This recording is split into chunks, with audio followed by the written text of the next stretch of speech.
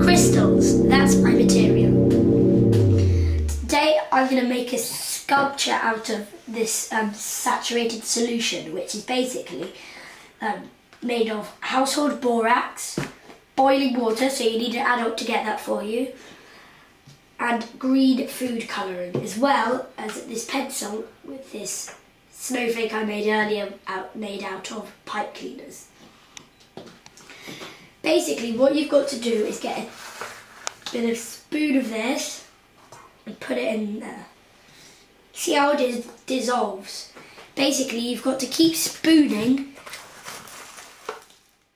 keep spooning this borax into here until it stops dissolving. That's when you know it's super saturated.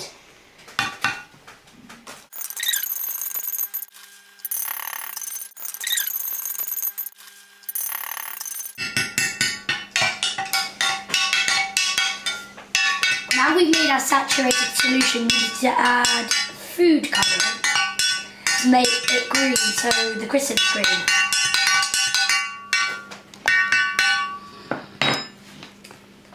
Only a few drops though. Put like the Wizard of Oz, you know, the Emerald City. Emerald is a type of gem formed over millions of years. Now, see how it's greenish on the bottom? The dye is settling. You need to stir it so it gets in between those crystals and gets everywhere inside it.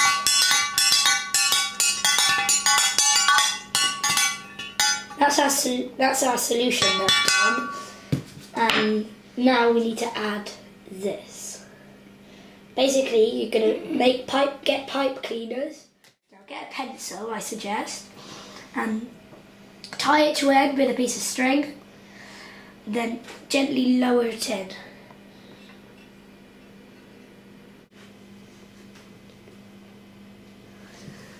And now all you have to do is just wait a few days.